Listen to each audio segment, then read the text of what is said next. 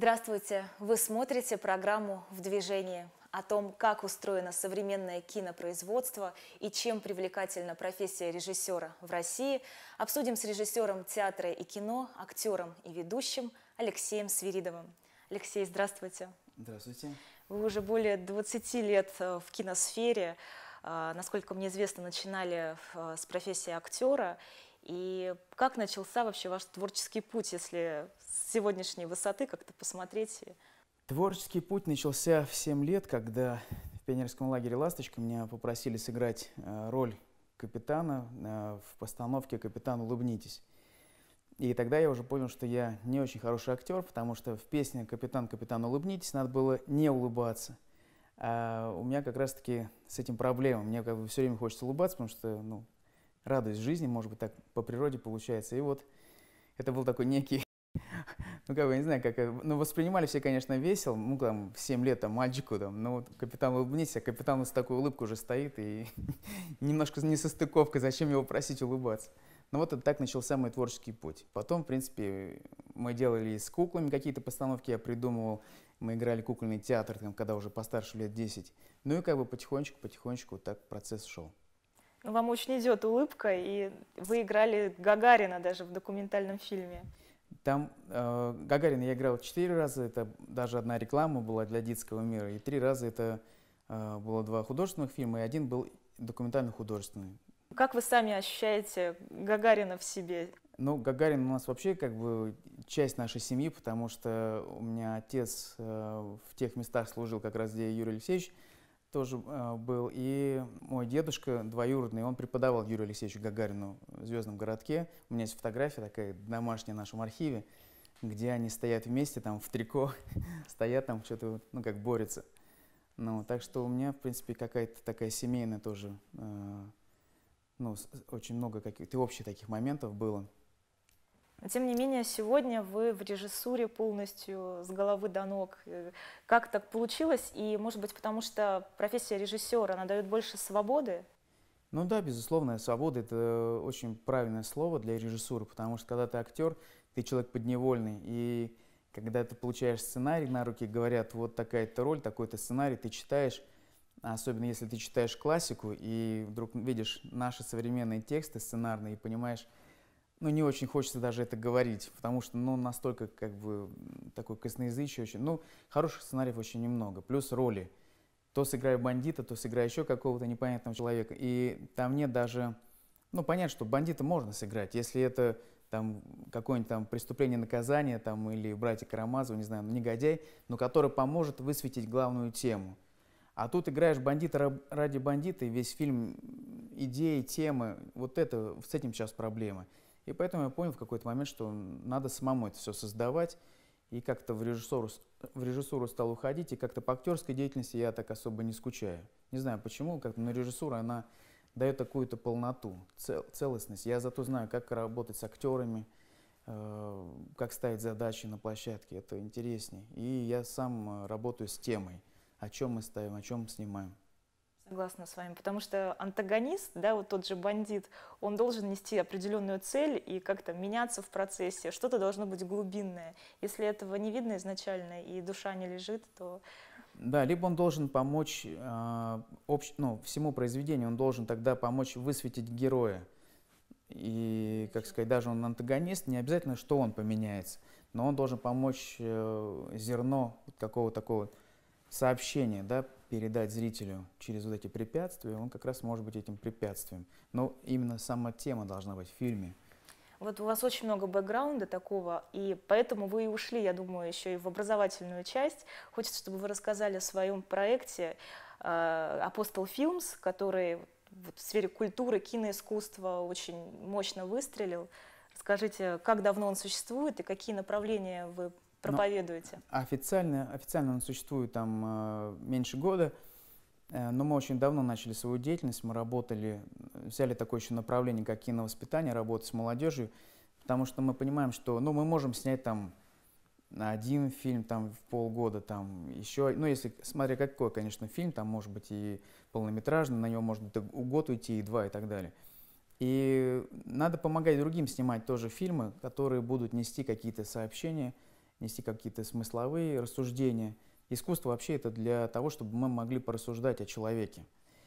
И стали работать с молодежью, ну, как бы много приглашали, и как бы родилось вот это вот направление киновоспитания, мы его так назвали. Вот. Оно только без морали... морализаторства, конечно же. Э, там суть в том, что мы учим ребят, молодежь э, работать с видео, визуальной грамотности, потому что многие хотят сейчас снимать какие-то блогерские, в блогерских жанрах, там это рецензии, социальные ролики, там журналистские расследования, экспертные видео, просто хотят снимать фильмы. И, ну, они где учатся? Им учиться они, как правило, заходят в интернет – и там начинают ловить какие-то, скажем так, хайпы, тренды, и это часто бывает как раз-таки, ну, скажем так, не, с негативной, э, с негативным контекстом, когда, если ты хочешь очень быстро войти в струю, то легче всего, конечно, идти через какие-то, ну, ну такие, как сказать, эпатажи. И поэтому они берут там вот эти пранки, троллинги, буллинги, да, и на этом спекулируя, человек может как-то себя быстро-быстро-быстро заявить, такой ну, вот. Но смысла в этом-то большого нет. Если ты копаешь туда, но оно только дает такую деструкцию в этот мир. А что-то серьезное делать, на это надо затрачивать время. А идти в какие-то хорошие школы, у кого-то денег нет, у кого-то нет времени и так далее.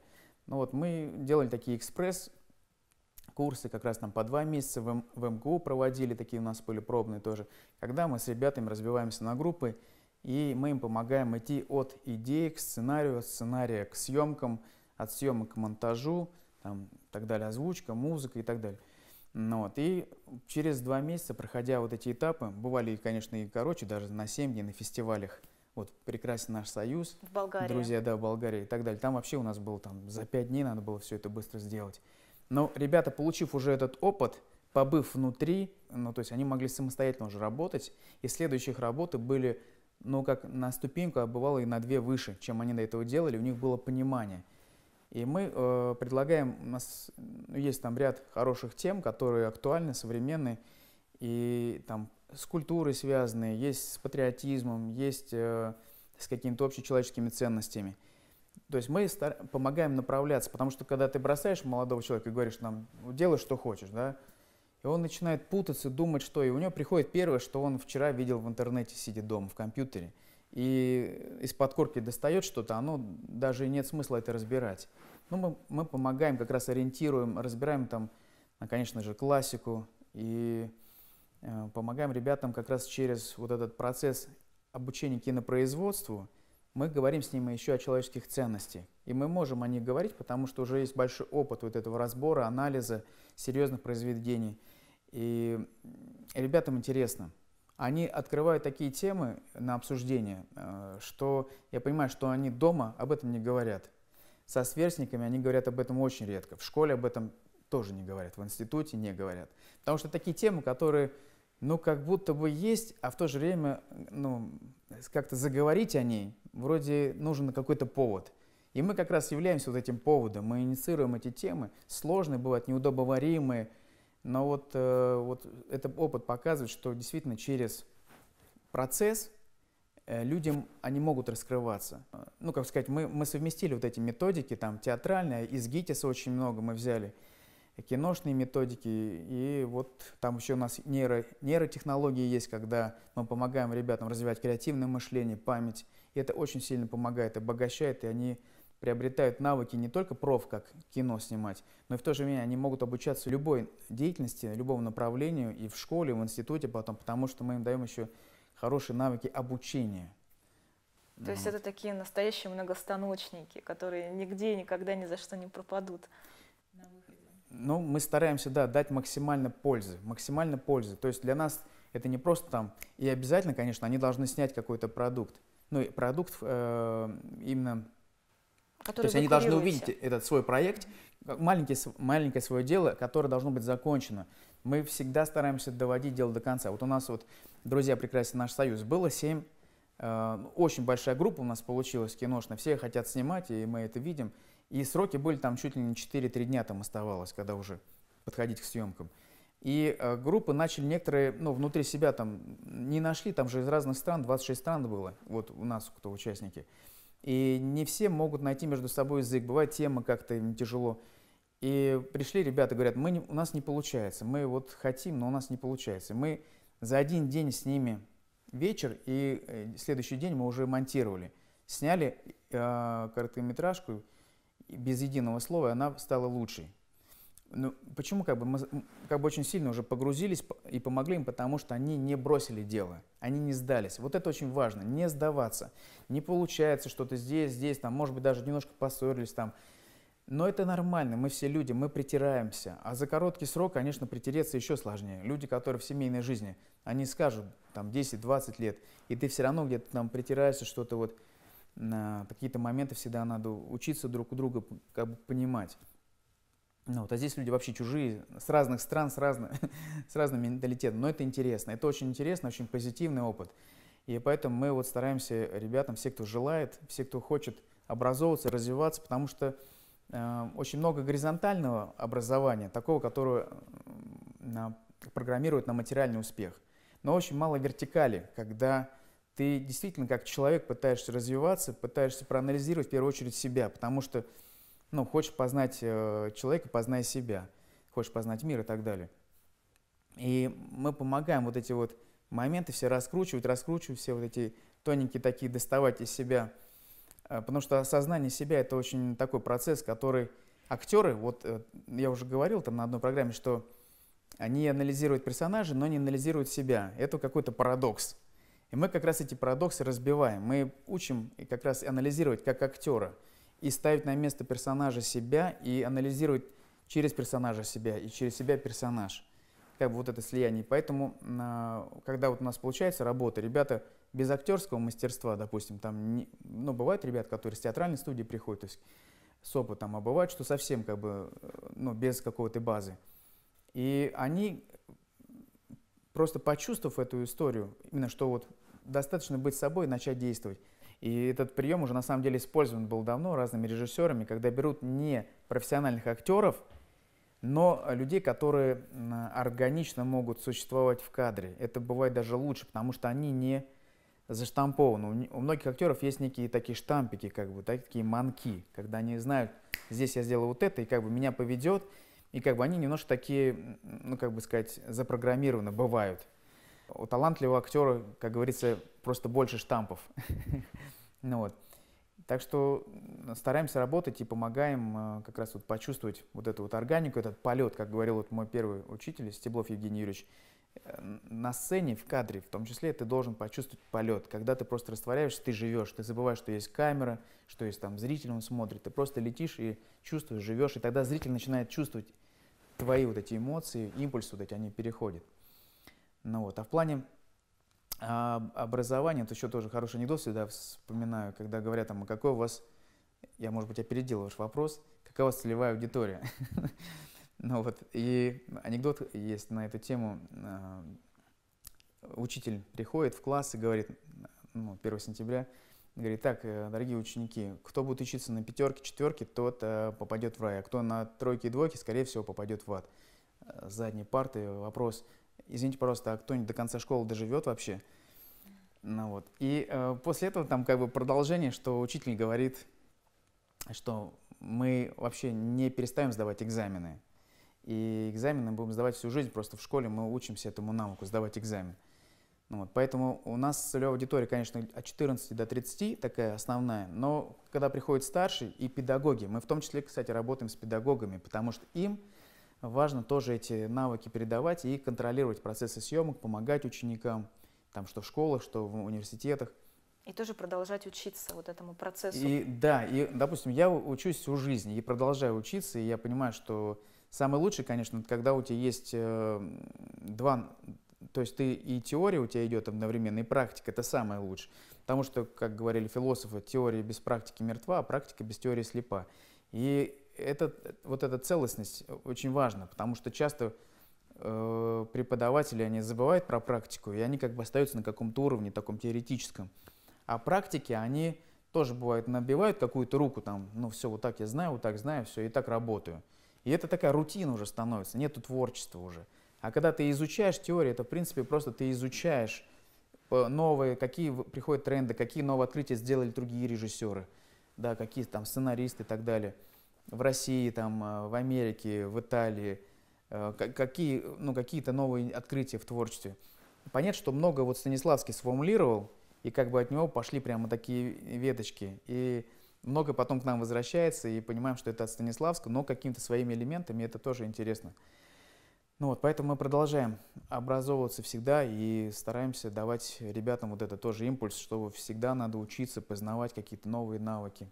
Я думаю, ребята, они смотрят на вас, вдохновляются, видят этот пример и идут дальше. Какую обратную связь получаете? Наверняка даете свой контакт без проблем, да, они, может быть, да, возвращаются. Да, сейчас вот мы уже ну, будем делать это более централизованно, потому что раньше были какие-то группы просто, а сейчас мы хотим сделать уже такое комьюнити, сообщество, когда а, ребята на профессиональных интересах а, и на каких-то, скажем так, мировоззренческих моментах – ну, потому что действительно мы стараемся говорить, у нас там и здоровый образ жизни, там все ребята стараются как-то развиваться, двигаться, меньше каких-то вот этих вредных привычек. Когда люди в деле, они этим даже не им некогда этим заниматься, потому что это в основном все от безделия приходят вот эти глупости. Поэтому мы будем делать сообщество, и там ребята смогут как делиться своими работами, брать у нас советы, там по сценарию часто нужны советы, или показать свою работу. Плюс мы будем делать фестивали, ну мы уже делаем фестивали, но будут еще такие ежегодные большие фестивали, где мы будем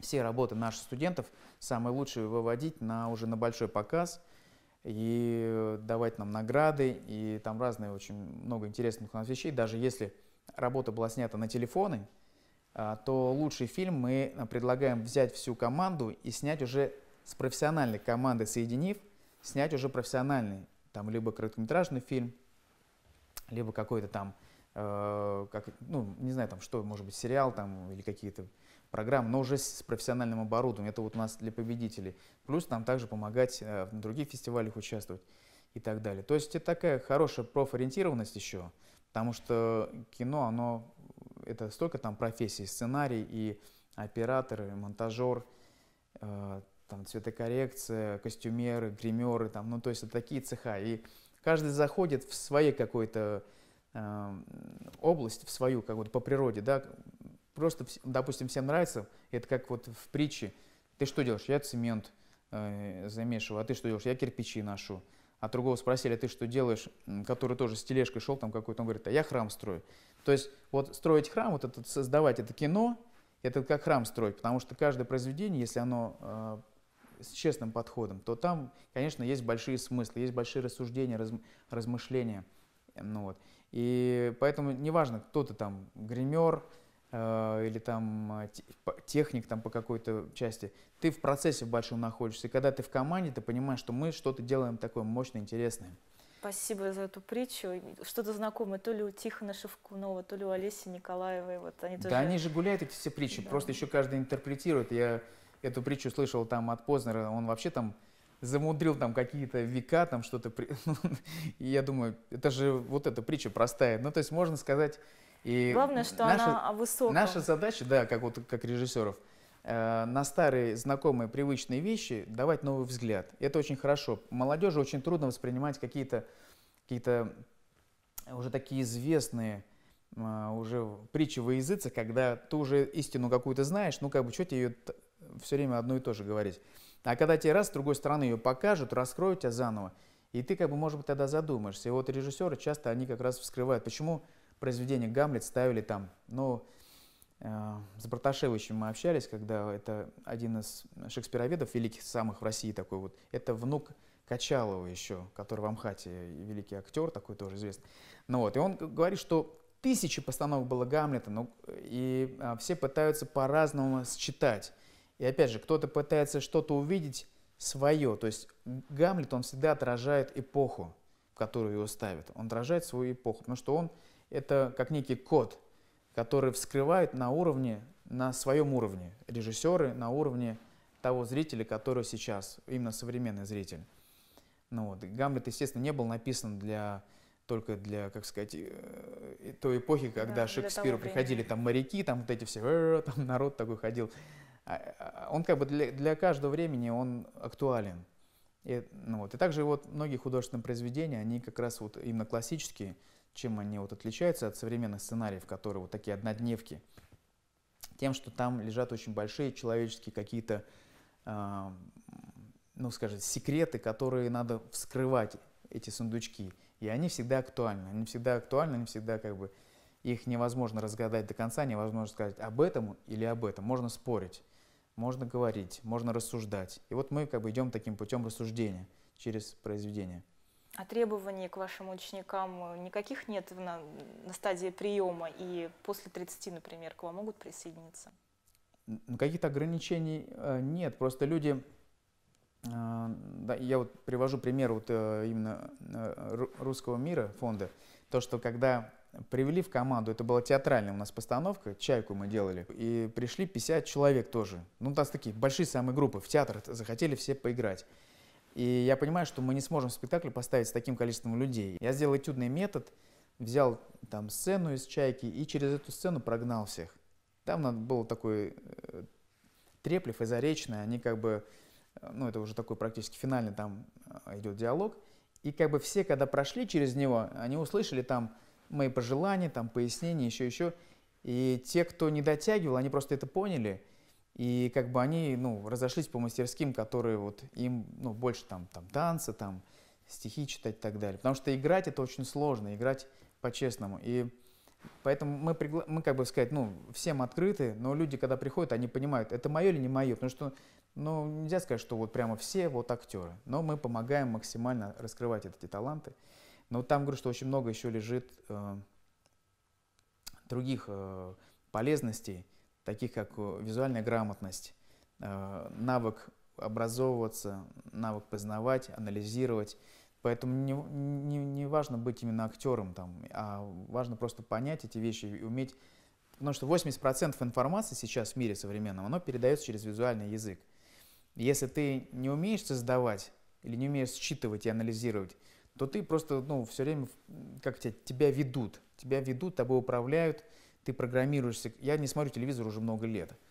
Э, потому что ты как бы, ты вот как, ну вот этот зомбоящик, это ну, реальная вещь, потому что ты поддаешься контенту, который тебе навязывают. А все-таки я предпочитаю выбирать контент. Мы поэтому учим еще как бы образовываем именно насмотренность, показываем, рассказываем, почему, как, вместе анализируем. Ну вот, так что э, как бы у нас такой вот процесс. Мы надеемся создать еще э, приложение, Э, надеюсь, что это получится, потому что это ну, не, не просто, непростое дело. И это приложение уже будем по такой всероссийской, да, когда Apostle смогут... Films приложение? Да, приложение Apostle Films мы делаем для того, чтобы педагоги в всероссийских вузах, не только в Москве, там, в Петербурге и везде, чтобы они могли дистанционно преподавать, и потом мы уже проводим занятия, которые онлайн, мы можем как бы разговаривать сразу обсуждать работы дистанционно. И плюс потом уже на фестиваль все собираются, приезжают, дружат, общаются. Это такой очень здоровский взаимообмен и опыта, знаний, и такое вдохновение, потому что людям очень важны эмоции. Как бы вообще нами руководят эмоции в, в большом, если так э, разобраться, то мы, когда анализируем что-то, мы ждем ответ от эмоций наших. И эмоции это то, что нас, вот, как сказать, двигает во многом. Поэтому и кино это, это вот именно такое, как сказать, фабрика эмоций. А вот сейчас, э, оглядываясь назад, все-таки понятно, что один год это не так много, но тем не менее, какими проектами вы наиболее гордитесь в рамках Apostle Films, э, которые уже живут? Да, но гордиться-то это вообще такое Плохое опасное, слово, да? опасное, да, да, потому что вот как только корону одел, все, считай, что ты уже упал и ты ничего не учишь. Нет, надо всегда и слушать, и внимать, и познавать. Это вот как раз-таки, где гордишься, там уже считай, что ты тебе кажется, что ты чего-то достиг. Ну вот, э, какие работы, ну, приятно, что мы делаем. Сейчас вот у нас тифлокомментирование еще к нашей работе. Сейчас у нас э, новый фильм короткометражный, там играет Эммануил Виторган, Ирина Безрукова, Игорь Жижикин, Юлия Такшина.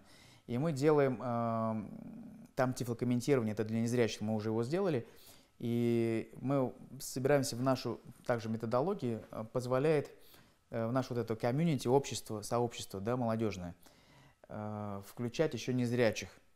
Э, тифлокомментирование – это аудиотранскрипция, что происходит в кадре между слов, да, как, что происходит, какие действия. И незрячие, как раз вот они, ну, они же включают наушники, они слушают и понимают, что происходит на сцене.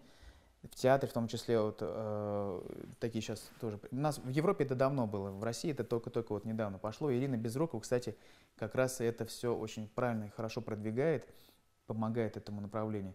Поэтому мне кажется, что вот э, такая инклюзия э, в эту всю историю киновоспитания незрячих людей, мне очень, э, я рад, что она происходит.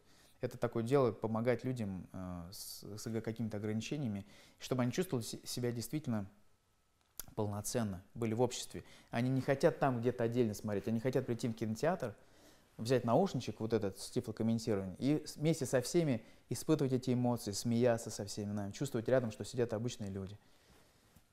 И напоследок, не хочется с вами прощаться, Алексей, но все-таки такой даже совет начинающим молодым режиссерам, а, людям, которые хотят связать свою жизнь с кино, так как у вас а, за плечами большой опыт, Какими качествами должен обладать режиссер? Без, без каких нельзя обойтись? Ну, нельзя обойтись без того, чтобы быть э, честным самим собой. Очень часто э, режиссеров, особенно молодых, уводит вот это желание быстро достичь каких-то результатов, быстрее сделать, показать и заслужить какое-то признание. Вот это первое, что разрушает. Поэтому надо быть честным самим собой и понять, что я хочу, для чего мне вообще быть режиссером. Если говорить какие-то высокопарные вещи, но это тоже как бы такой момент, что начинает давить прямо вот этим, да, вот так надо, вот так. Нельзя гвоздить смыслы. То есть кино – это все-таки создание художественного образа, в котором мы задаем вопрос. И зритель должен начать рассуждать вместе с тобой на эту тему. Это, это сложно, поэтому режиссер, это вот как Сергей Васильевич Женовач, у которого вот два года я в магистратуре как раз э, слушал вот эти все разборы его замечательные. Режиссер – это это два важных э, качества. Это образное мышление и композиционное мышление.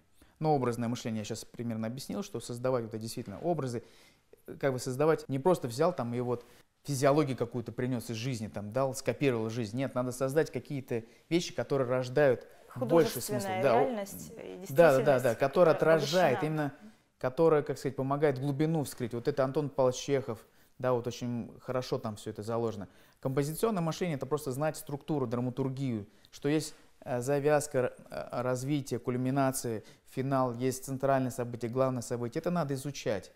И просто ребятам посоветую, чтобы они это изучали, потому что, ну, если они не будут знать вот этих базовых вещей, базовой школы, то они просто делать будут очень много ошибок. Спасибо большое. Алексей, вашему проекту новых высот, открытий, он, э, конечно же, необходим, безумно необходим сегодня в этом современном э, мире э, с его вызовами, с его трендами, с его вот этими блогерскими историями. Поэтому только процветания, только успехов. Спасибо, да, молодежь очень сейчас интересная, хорошая, но просто нужно чуть-чуть помочь направить, потому что они, вот я говорю, что взрослые гребут, а компас передать молодежи забывают. А да. молодежи нужен этот компас просто куда? Они хотят, у них столько энергии, они такие мощные, классные.